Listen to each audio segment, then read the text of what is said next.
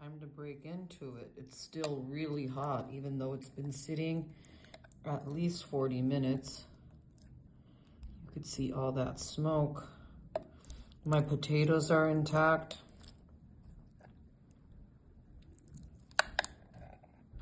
The cheese has melted around it. I'm not gonna have a ton now. I just had a huge glass of milk. That was so good. Ice cold, delicious milk. But you see how that is nice. It's still nice and um, creamy and it's still cheesy, but not so thick. And then when you reheat it, it's going to be perfect. The potatoes will continue to absorb. Get off of here. Okay, it doesn't want to. Let's try it. Okay, let's try this one first. Tender as can be, but intact, just how you want it. Hard to pick up. Doesn't want to be eaten. Mm-hmm. Perfect. Everything you need and then some. Not too salty. The perfect amount. That tiny little bit of um, nutmeg. Mmm. My husband's gonna love this. This is gonna reheat really beautifully too. I have a ton of it. Those were three really big potatoes. So there it is, scrumptious, delicious, tender, cheesy, creamy, smoky, bacony. Oh, you're just mad because I didn't eat you first? Okay, you're next. Mmm.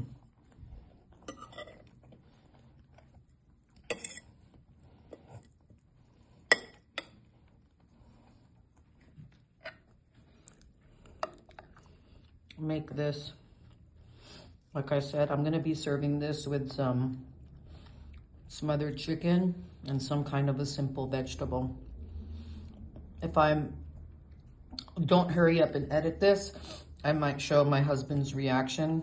And if not, see you again. Until next time. I decided to cook off a pack of delicious thick um, bacon. And when I was looking at it, I thought, look at all that fond and look at all this delicious smoky bacon grease. And I thought, you know what? Let's make some cheesy, bacony scallop potatoes.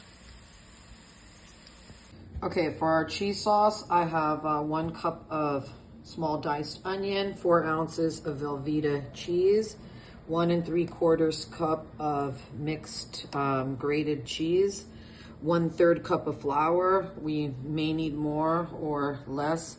A little bit of garlic um, powder granulated garlic, um, onion powder, white pepper. I might add some black pepper at the end, but let's get it going. I removed um, all of the oil from the bacon and I'll show you that now.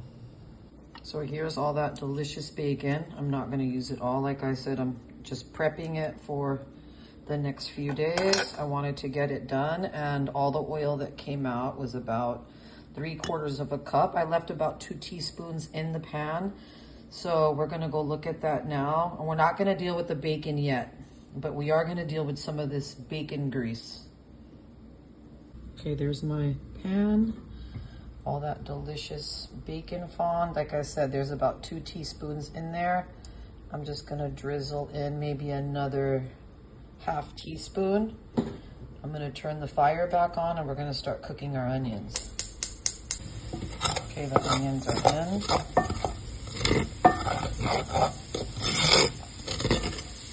just start getting these soft and translucent. This should take about two or three minutes. All right, well that was about three or four minutes. All the flour in now. I have my um, burner set to low because I don't want this to get too brown. These bits of fond at the bottom are delicious, but if you, once the bacon and everything is out, this can quickly turn bitter. So you don't just want to cook this on high. It's better to take it slow and guarantee that all of it is staying nice and pristine. Gonna feel a little dry. Now the next thing we're gonna do is we're gonna add the milk and possibly some water. Okay, time to add the milk. I'm gonna add a little bit at a time at the beginning because I wanna work out the flour. My milk is hot.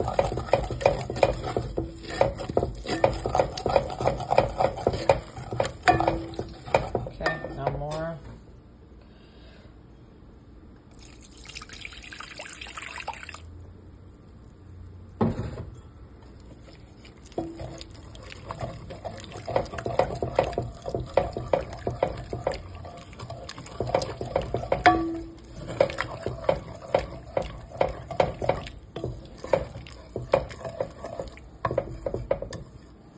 Work out all those lumps in your um, onion with all that flour before you add all the milk because sometimes it can just create like little dumplings which we love but we don't want them in our cheese sauce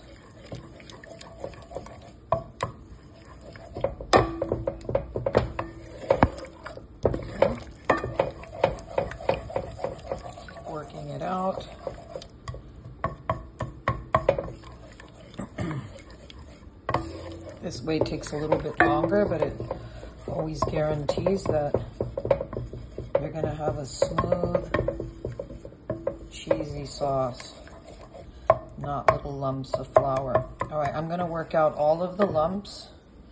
I'm gonna add the rest of my milk. And then I'll bring you back to the process. Okay, I've brought you to my window. I've taken it off heat just to show you how it looks.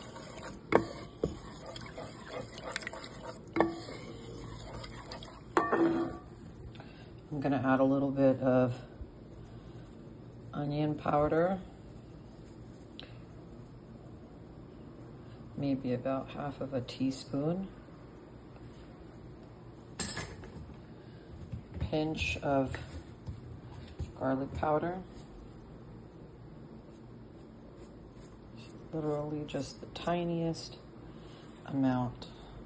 And then mix. Yes, we just added all that brown onion, but it's nice to have the different levels of onion flavor and complexity.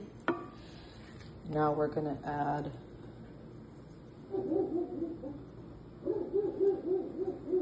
half a tablespoon of chicken bouillon.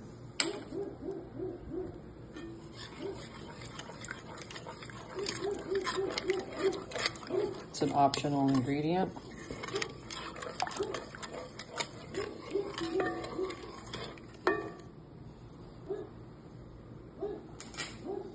Now all the cheese. Four ounces of Velveeta and one and three quarters cup of your choice shredded cheese. I'm using the Mexican style blend, but you can use all the cheeses your heart desires.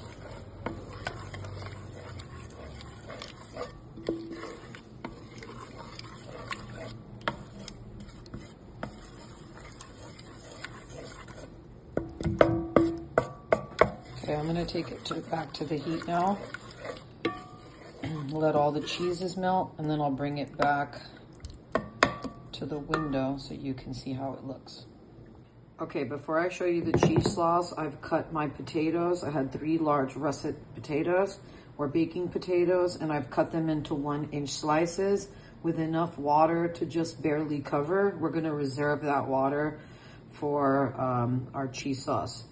So I'm just gonna add a literally like an eighth of a teaspoon of salt. I don't wanna over salt it because the bacon and everything has a lot of salt. We want to just have enough. Okay, here's our cheese sauce. I've added one teaspoon of room temperature butter. That's an optional ingredient, but it makes it nice. We're gonna be adding more cheese as we layer it. So this is gonna be just our basic um, bechamel I'm gonna add just the smallest grate of nutmeg. Okay, I just grated about that much nutmeg. Literally just the end of the tiniest little piece of fresh nutmeg into my sauce. This is another optional ingredient, but one that I think really gives the potatoes some character. I've given our potatoes about a 10 minute head start because the cheese sauce is too thick to tenderize the scalloped um, cheesy potatoes uh, without it becoming really thick and regardless of how long you cook it, it will not tenderize and you will have hard little hockey pucks, unfortunately. So this is just enough to cook them. They're still um, not totally fork tender. They still have some resistance. Sorry about that, but they're good. I've reserved some of the water to thin down our cheese sauce, just a tiny little bit with the potato water. Let me show you that. Okay, I took about two cups out. I'm not gonna use it all, but I'd like to reserve my potato water for other uses like baking bread or making. Okay, I've buttered my casserole dish. I normally don't cook in a casserole dish like this, Pyrex style casserole dish, but just to show you how it looks. I'm gonna do it. Okay, just give a nice bottom coating. We're gonna need this to have a good amount at the bottom. You see how nice and thin that was to that cheese sauce I added one quarter cup of my potato water. Next, I'm gonna add the potatoes. Okay, my first layer of potatoes is in, and then I'm just gonna add a little additional cheese. Add as much as you want. I'm gonna keep layering it. The next layer is going to be just on top. That's my oven preheating. A little bit just on top of the potatoes. I mean, you don't have to be that careful with it you could just go on ahead and add it. I just want to make sure that I have plenty of cheese sauce for the whole casserole. So I'm going to keep building it just like this. So it's the sauce, the potatoes, the cheese, the sauce, the potatoes, the cheese, the sauce until we get to the top. Well, there I go giving false information again. What about that delicious bacon? So this is, like I said, very meaty type bacon, almost ham. You could substitute ham if you wanted to. So every about two layers or so, add um, the bacon. So after you add the bacon, then we'll start with the cheese. Okay, so two layers of potatoes, cheese and sauce, and then one layer of bacon till we get to the top.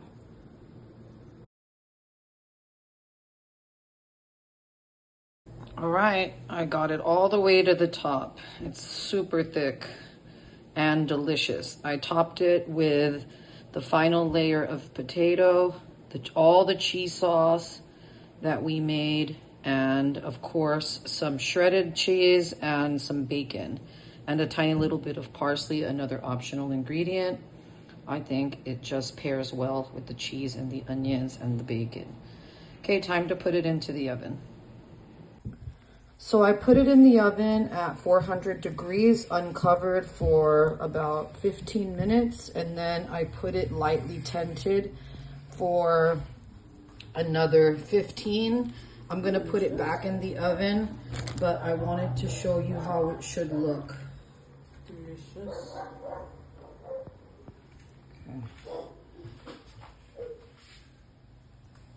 So it needs to boil. I want to see lots of vigorous boiling going throughout. Another thing I didn't mention was that you need to use an oversized casserole bigger than the one you're going to actually use so that your uh, when the cheese boils over, it doesn't uh, ruin your stove and become all smoky and a, and a mess. All right, back in the oven at 350, lightly tented with foil for another 25 minutes. Delicious. Okay, out of the oven. So let me show you the sides. You could see the vigorous boiling. It's been sitting out a minute, but you can see it boiling. Okay, look down. You love this sound, huh? Okay.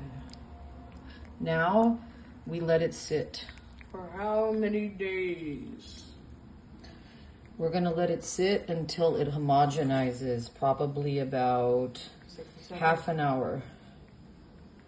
60 seconds? Half an hour. 60 seconds.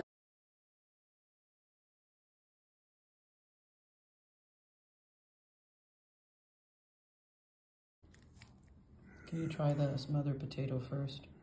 Okay.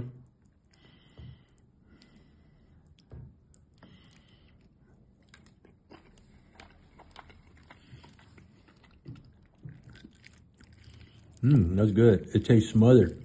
That's, Tender. mm-hmm. You know I like smothered.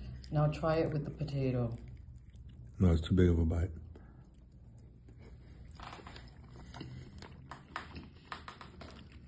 I put a ton of potatoes because I know you love your cheesy scallop bacon potato. Love them. My fave.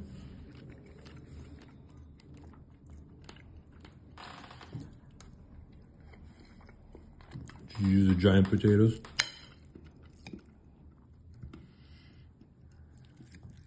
Mmm, that was good. It was like you're taking a bite of a baked potato.